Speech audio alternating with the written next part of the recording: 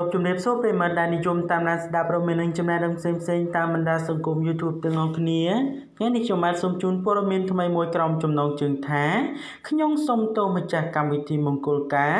ក្រោយលុបចោលមិនបានទៅច្រៀងព្រោះតែបញ្ហាសុខភាពបើកំពុងតែព្យួរសរោមបើប្រិយមិត្តរបស់យើងលោកប្រកាសជាបានស្គាល់អ្នកនាងខ្ញុំបាទដែលមានឈ្មោះពិតស្រីសុកណ្ដាជាជាមិនខាននោះទេបាទអ្នកនាងគឺជាតារាកំ pl ែងដ៏មានភាពល្បីល្បាញប្រចាំស្ថានីយទូរទស្សន៍ CTN ហើយក៏ជាតារាចម្រៀងរបស់ផលិតកម្មថនផងដែរខ្ញុំមិនត្រឹមតែជោគជ័យនៅក្នុងវិស័យសិល្បៈនោះទេបាទសូម្បីតែវិស័យជំនួញរបស់នាងក៏ទទួលបាននូវភាពជោគជ័យខ្លាំងបាទដូចជាការរកស៊ីដីឡូបាទនឹងការរកស៊ីសាងសង់ផ្ទះល្វែងមិនត្រឹមតែប៉ុណ្ណោះការលក់ជ្រក់ជើងមន់បាទក៏មានភាពបាទមមាញឹកខ្លាំងហើយនៅក្នុងរដូវកាលនេះគឺជារដូវកាលវិធីមង្គលការខ្ញុំរកតែពេលសម្រាប់និងបាទដើរលេងគ្មានផង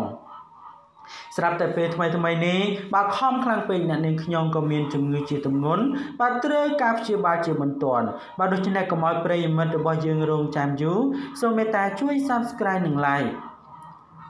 ខ្ញុំតារាកំ pl ែងស្រីដ៏មានប្រជាប្រិយភាពនិងមានទេពកោសល្យខ្ពស់បាទព្រោះថាក្រៅពីបាទកំ pl ែងនាងក៏មានបាទជាតារាសម្ដែងនិងអ្នកចម្រៀងមួយរូបផងដែរ គេសង្កេតឃើញថាក្រៅពីអាជីពទាំងនេះបាទអ្នកនាងខ្ញុំក៏បន្ថែមការងារបាទជាអ្នកចម្រៀងកាត់សក់នៅក្នុងកម្មវិធីមង្គលការនិងលក់ដូរអេវ៉ាន់នៅតាម Facebook ផងដែរ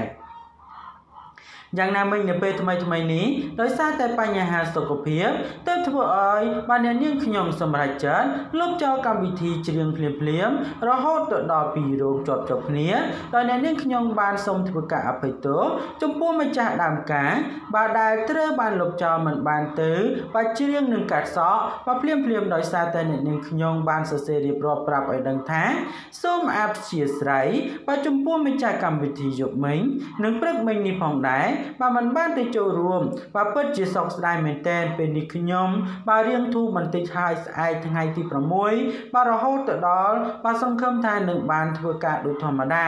បាទធ្វើម៉េចបាទមិនបានទៅទេបាទដាច់ខែដាច់ខ្យល់ហើយបាទ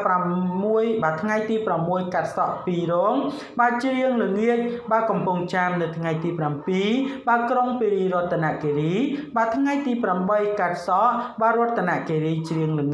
ងាចបាទថ្ងៃទី9កាត់សក់នៅភ្នំពេញ